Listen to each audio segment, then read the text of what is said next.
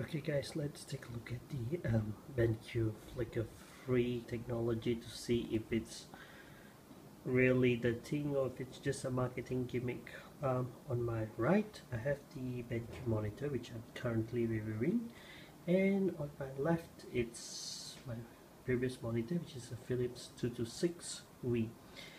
So what I did is that I've set the brightness to minimum level on both the monitors so that I could able to capture this on my iPhone. And I've duplicated the display exactly on both of these monitors. So now just let's take a closer look on my Philips monitor to see if there is flicker.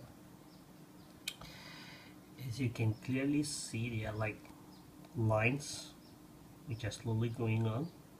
So this is what flickers normally uh, in the old CRT monitors uh, you are able to see this clearly because uh, if you take a camera or something and zoom in you'll notice that it'll start to flicker. Let's take a look uh, if that's the case for the BenQ monitor. Hmm. Okay. As you can see there's no flicker of any sorts. Let's give you a comparison you can see a flicker. Closer. Yep. As you can see it flicks compared to